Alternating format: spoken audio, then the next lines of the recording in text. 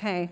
I would, I would like to call the meeting of the Board of Directors of the Des Moines Public Schools to order for October 2nd, 2018. Please take the roll. Natasha Newcomb, Here. Ms. Delagardelle Shelley, Here. Ms. Langford, Here. Ms. Elsbernd, Here. Ms. Anderson, Here. Mr. Barron. Here. The first item on the agenda is approval of the agenda. Are there any special requests? Then may I have a motion and a second to approve the agenda? I'll motion. I'll second. A motion by Natasha Newcomb and a second by Dionna Langford. Um, Please vote. Motion passes 6-0. Next item of business is approval of the minutes. May I have a motion and a second to approve the Sep- September 18, 2018 minutes? So moved. Okay. Uh, Any discussion or corrections? Please vote. Motion passes 6-0. Uh, Next are district recognitions, and I'll turn it over to Dr. Ahart. Good evening, Board. The school year is still fairly young, but it's a pleasure to see honors already rolling in for the good work of our schools, teachers, and students. I'd like to share one of those with you this evening. Science Bound is one of many partnerships between Iowa State University and Des Moines Public Schools. It is a pre-college program to empower Iowa students of color to pursue degrees and careers in science, technology, engineering, or mathematics. Science Bound is designed as a nine-year program with students beginning in eighth grade and continuing through their graduation from Iowa State University. Each year, the program recognizes a science-bound high school of the year. Factors that go into the honor include the retention of students in the program over the academic year, exemplary presentations by students of their work, and individual student math improvement during Science Bound's summer programs. This year, East High School has been honored as the School of the Year. And it's my pleasure to introduce Nikki Dorr, one of the Science Bound sponsors at East, to share with us more about the good work of the school and introduce others from East who are with us this evening. Ms. Dorr? And to present the hardware. That's awesome. Thank you. I was told to bring the hardware, so here it is. um, this year, East won for the past year um, for their hard work. We had four teachers running this program. Three of the four were new teachers to the program.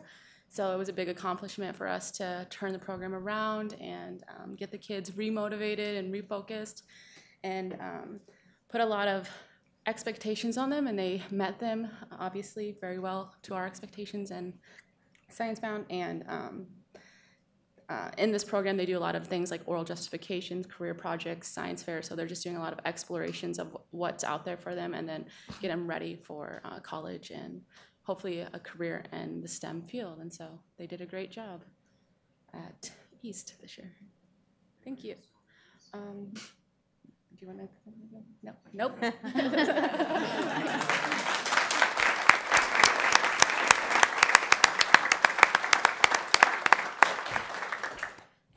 Before continuing with our regular meeting, I want to remind the audience that we allow any person the opportunity to speak to the board for five minutes following the presentation of an agenda item. If anyone wish- wishes to speak to an agenda item, please go to the information table to sign up.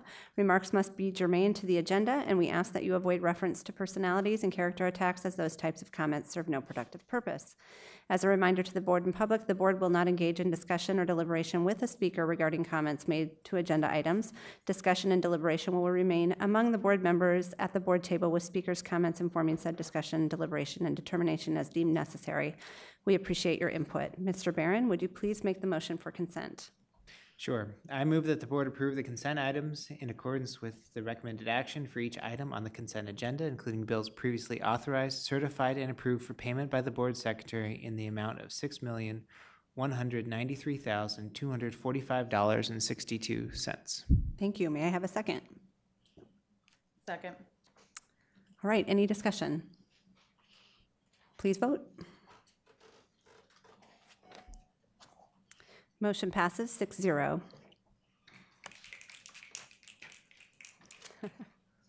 Okay.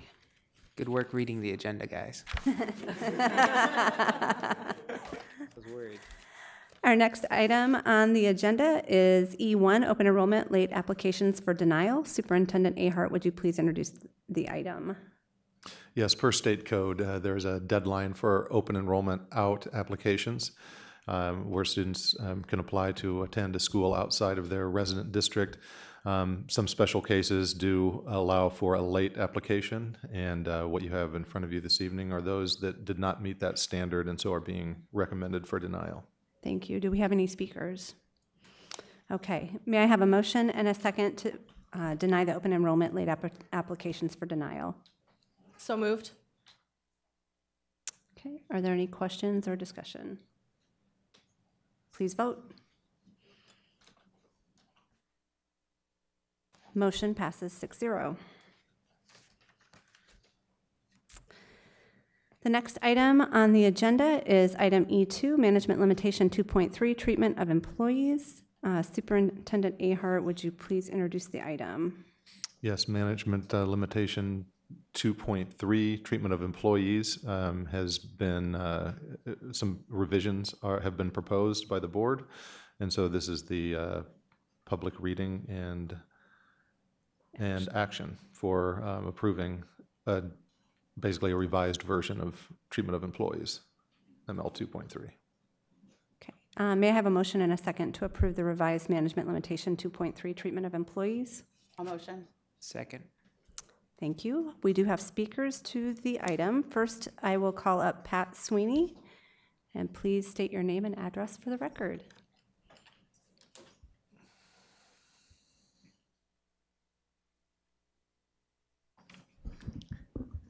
Pat Sweeney, 2831 Willamore Drive, here in Des Moines, Iowa.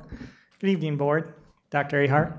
Um, I I came tonight to, uh, it's my first time back in two and a half years, and I came tonight in support of uh, the treatment of of employees, 2.3. Um, As looking through the policy that it states, I think that, you know, history has shown that these things have worked in the past, and, you know, there's not a reason to change. And I commend you for adding these to the policy, or to, I think it's going in the policy, correct? Um, So I commend you for uh, coming up with this and adding that to the, to the policy. Um, I think it gives a lot of confidence to the 5,000 plus staff that you have here. And um, bravo, you know. So, uh, you know, I, I, I looked at this, and at the end, I thought of something. I thought of Mr. Barron. I used to sit next to him, and one of the things I used to like to talk about is uh, John Joe Biden's quote is, uh, "Don't tell me what you value. Show me your budget, and I will tell you what you value." And I think in this instance, you know, it's one of those things you can talk to talk. You guys are walking the walk. Thank you. Thank you. Um, Next speaker is Patty Gronwald.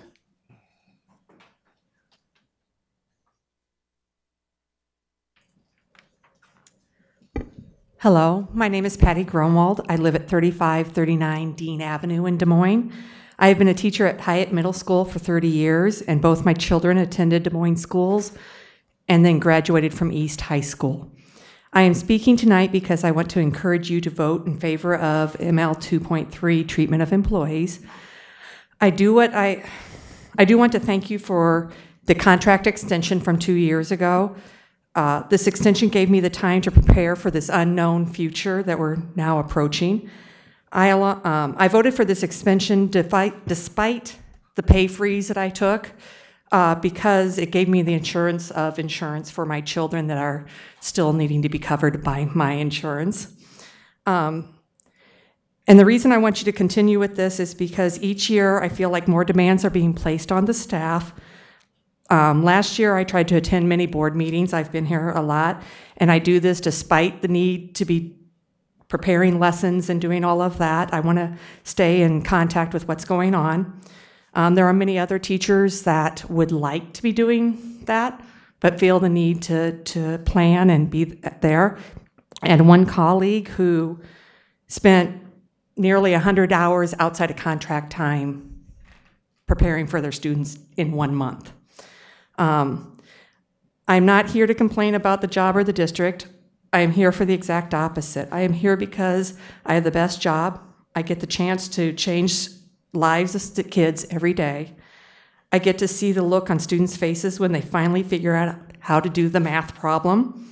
And I have the privilege of seeing this look on many faces through the years, and that others have said would never be able to figure that out.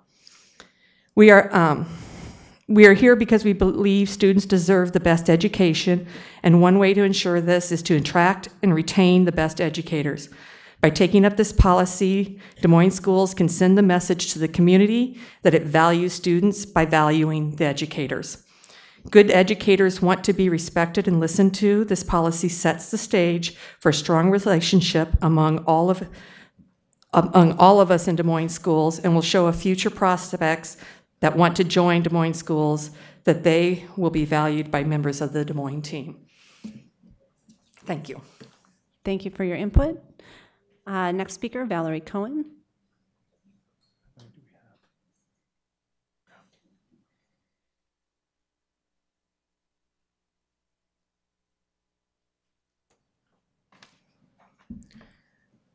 Good evening. Um, Not really always thrilled with public speaking, but I'm back again. And if my mouth gets dry, you'll just have to excuse me. In less than two weeks' time, during February 2017, an unbroken thing was broken. The legislature of our state gutted a 40-plus year-old piece of Iowa code that had been conceived after a year and a half of bipartisan effort, the likes of which I fear we will never see again. Today, as you address this resolution, I hope that you please ask yourselves if it does indeed represent your most comprehensive statement upon these issues. Because all we, the unionized labor of this district, want is a just and fair opportunity to bargain, as bargaining should be. To bargain is to give and to take. It is a glorious thing. Franklin Delano Roosevelt says, it is the real advantage of every producer, every manufacturer, and every merchant to cooperate in the improvement of working conditions because the best customer of American industry is the well-paid worker. And that boils back to what we do as a district too, because we are preparing children for a future. And AFSCME's children are largely within this district. The rising tide of unions raise hope, raise wages, and raise life quality for people all over, for the students we represent as well. The important role of union organizations must be admitted. Their object is the representation of the union categories of workers their lawful collaboration in the economic advance of society, and the development of the sense of their responsibility for the realization of the common good, according to Pope Paul VI. There's no shortage of wonderful recognition out there for what unions bring to the table. And then our state did what it did. No one should have to bear the stresses of recertifications or worries of the gutted bargaining that is no real bargain. People like myself, employees of this district, are human beings, and our focus should be allowed to be 110% on the students that we serve. To that end, you all have my gratitude for taking on the ugly realities of a gutted Chapter 20 whether it is the employees that transport the children, feed the children, teach the children, or maintain their environment. We do so with pride, and we appreciate your appreciating us. Thank you. Okay. Thank you. Board, uh, any questions, comments, discussion?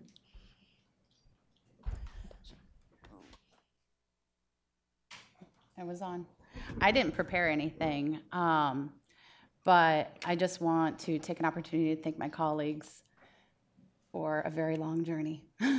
I know we've had more meetings with this particular policy than any other policy in the past three years, that I, or possibly ever. Um, I didn't get all that I wanted, but I love that we were able to compromise and the spirit of what this policy is, means for our students, our staff, our families in the district uh, is tremendous. And I really hope that it will set an example for all the other districts to take that extra step and uh, acknowledge their employees and the bargaining units and what they do, and hopefully send a message to the state that even if the state thinks that this is what is best, we know locally that we're going to take care of each other. That's all. I'm just so grateful for this opportunity since uh, I've been working on this since February. and most of us have been in this for quite some time too. So thank you. Anyone else? Mr. Barron? I just, I, I think it, it's appropriate to, to speak after Natasha because I, um, I want to acknowledge all of you, and I, I, you know, this is not the appropriate time to pat ourselves on the back, but this was a long conversation, it's already acknowledged. Um, people brought a lot of different perspectives to it, um, but th- those of you all that, that, that really pushed, I think, did a very good job of, I think, working on it, massaging it, keeping it going. Um, and, you know, I'm supportive of this, but I'm supportive of it as much because of the content of the change in policy as much as I am because of what it, what I think it says about this body and what we're capable of. That you know we're all capable of a working together even when we have a vast array of opinions um, and supporting something that's not 100% of what anybody necessarily would have done if they were emperor. Um, and I think that's laudable in this era and makes me really appreciative of being on this board with, with all of you. And um, and I'm, I'm, I'm thankful and optimistic about um, what this says to our staff and uh, of all shapes and sizes and jobs and responsibilities. And I hope that, that folks understand that um, this district from the top to the bottom values the people that come to work every single day and, uh, and, and wants to treat them in the best possible way.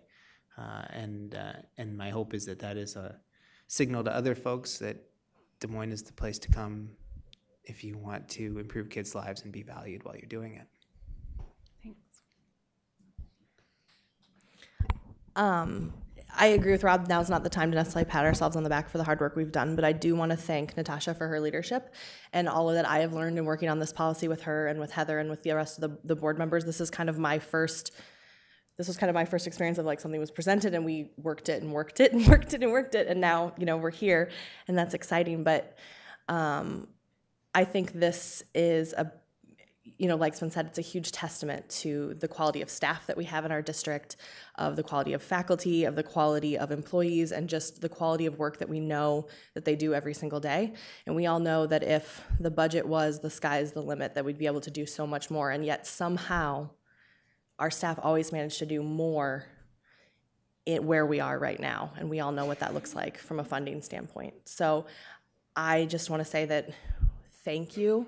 We value you, and hopefully this helps put your mind at ease so that, like has been said, you can give 110% focus to our kids, and we're not going to have to be distracted this year with extraneous items, and we can focus on the most important business now that we've gotten this out of the way.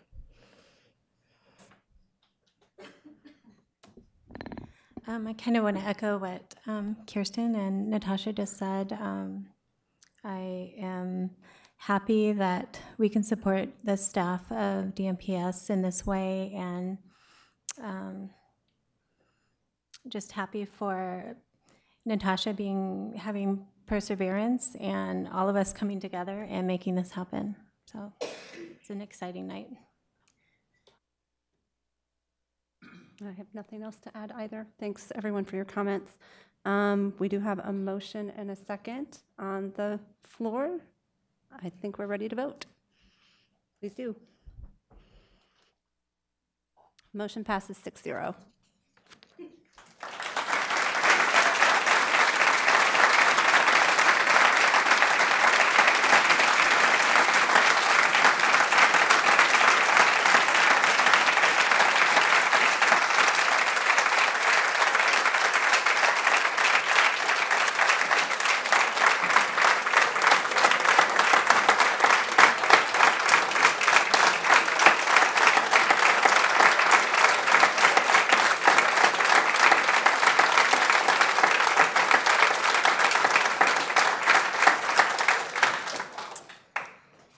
Thank you. Um, Next item is information-only items. The board, um, it- there's a preliminary plans of Lovejoy Elementary School Improvement Project. Um, The board can peruse that. Um, And then items of privilege. Um, First, I'll ask if any board members have comments or announcements for items of privilege. Okay. I just want to mention that Teree Caldwell Johnson um, was not able to be here tonight. She is actually traveling in South Afri- Africa. Um, She was, I should have mentioned during that vote, I guess, that um, had she been here, she also would have been in support of, of that item that we just passed. Um, And otherwise, I have nothing else to report, so we'll turn it over to Dr. Ahart for the superintendent's report. Uh, Just one quick note, I, I want to recognize the, the staff at both North High School and Hoover High School after an unfortunate incident at the Hoover um, homecoming game a couple of weeks ago.